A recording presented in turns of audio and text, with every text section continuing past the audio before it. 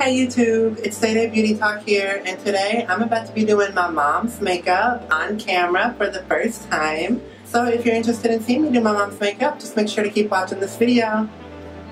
Okay, so whenever I'm doing makeup, I always start out with a good primer. For my mom, I'm going to be using the Neutrogena Shine Control Primer. It's really good at reducing shine, and if you have oily skin, it's really good at making sure your skin doesn't get oily throughout the day. So I just dab it on this is the same way I do for myself. I just dab it on and then put it all around.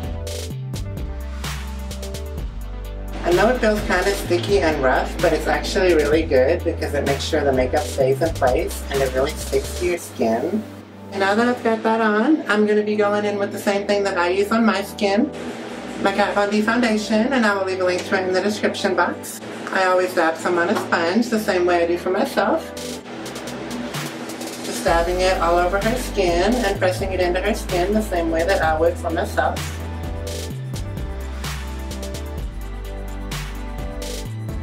So make sure I blend it all the way around the neckline because you don't want your makeup to look like a mask. And get another dab for the other side of her face. Now one more pump for the nose and forehead.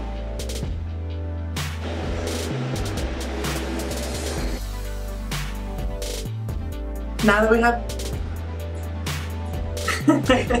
now that we have the foundation on, I have the smooth canvas for me to work for for the rest of the makeup. So the next thing that I do is I go in with my Kat Von D concealer cream and I'm going to use it under her eyes because we both get hereditary bags under our eyes. So I always have to put under my eyes and I'm going to put some underneath of her eyes as well. This concealer is really strong. A little bit of it is definitely going to be more than enough. I'm to let that sink in for a little bit while I go in with the contour. And for her contour, I'm going to be using the bottom middle color, which is Shade Shadow Play. Just to take a line going from in front of her ear down towards her mouth for the contour. And then I'm going to use the same shade for her nose as well, just to give a slight contour to her nose.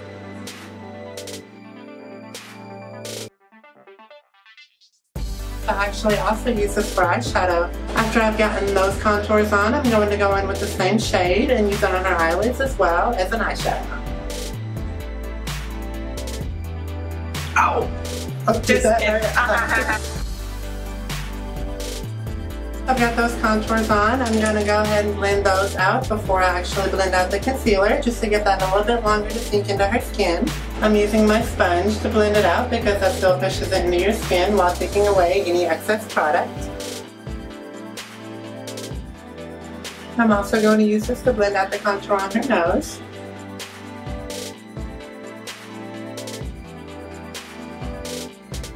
I am actually going to use a brush just to spread it out even more just to make sure it's not too much of a harsh line look on her face.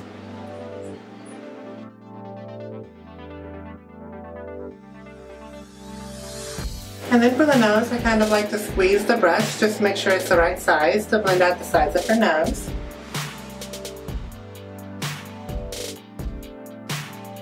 Can you use a fan brush for this, or what do you use a fan brush for? I don't even own a fan brush.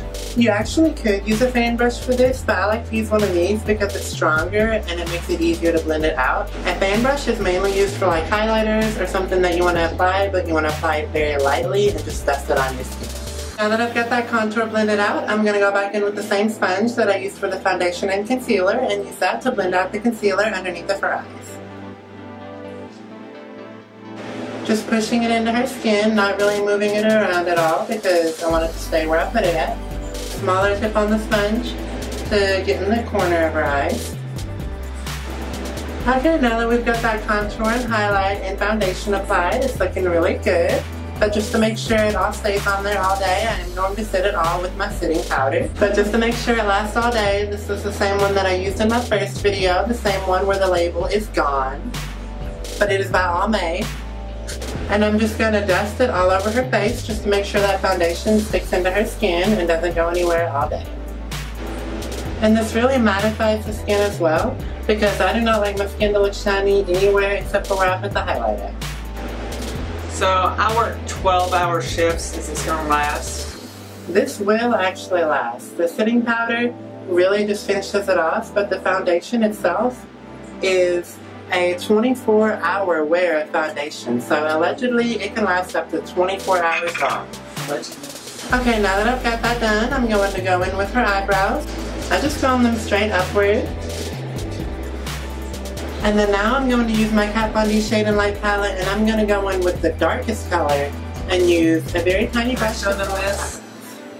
This. Oh yeah, we got a new one.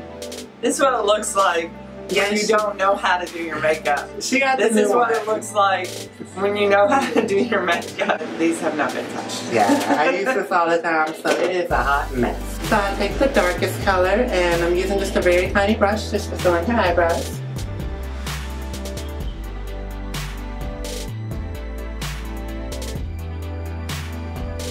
Okay, now I've got her eyebrows on and as y'all can tell, it is already looking great. Now I'm going to go in with the highlighter. This is my favorite highlighter, the one that I'm wearing on my face right now. It is by Artist Couture. I have a video all about this highlighter, so I will leave the link to that in the description box as well. I'm just going to dab a tiny bit of this highlighter because it is a very strong highlighter.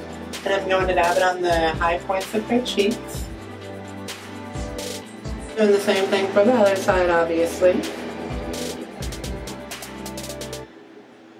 And now you can see how her skin is glowing. Look at how And it tickles. and I'm going to put a little bit of it just down the center of her nose, just to contrast with that contour we have going on on the sides of her nose. Now she has got a highlighted glow. Look at how radiant her skin is. Next I'm going to use my L'Oreal Voluminous Carbon Black Mascara. It is my favorite drugstore mascara. It's only like $8. Down or what do you want me to do? Kind of look forward and down. Kind of forward, Forward and and down. like this, This? but like looking down, like your Hold eyes open. no, look at me. This. All right. Yeah, that's what you do.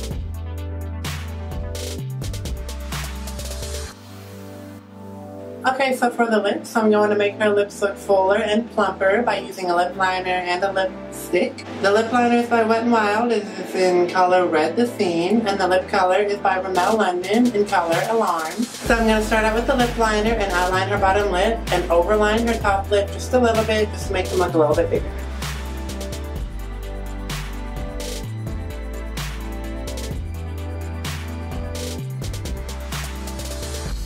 Okay, now that I've got her lip liner applied, I'm just going to go ahead and fill them in the rest of the way with this lipstick. So there we go, we've got her lipstick applied, and I do feel like her lips look quite a bit fuller. I could make her top lip look a little bit bigger.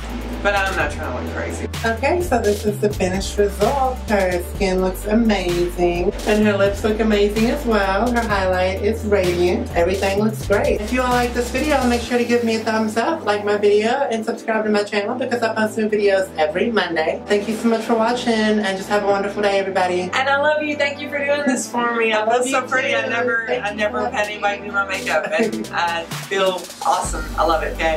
Thanks. Thanks, bye y'all.